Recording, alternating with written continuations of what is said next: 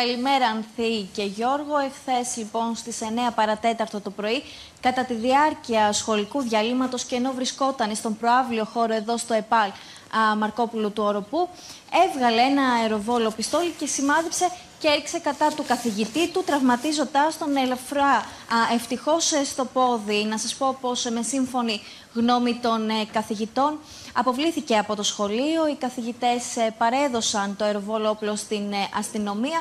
Λίγη ώρα αργότερα, μετά την λήξη των σχολικών μαθημάτων, ο καθηγητής αυτός κατέθεσε στο αστυνομικό τμήμα του Οροπού και έτσι συνελήφθη ο 17χρονος μαθητής της Δευτέρας Λυκείου για πρόκληση βαριάς σωματικής βλάβη και για παράβαση του νόμου α, περί όπλων. Αυτή τη στιγμή βρίσκεται ενώπιον του εισαγγελέα ανηλίκων και καταθέτει απολογείται, ενώ συνελήφθησαν και οι γονείς του για παραμέλεια α, ανηλίκου, εποπτείας ανηλίκου και Ξέρουμε τι είπε Βρεήρα ο, ο μαθητής.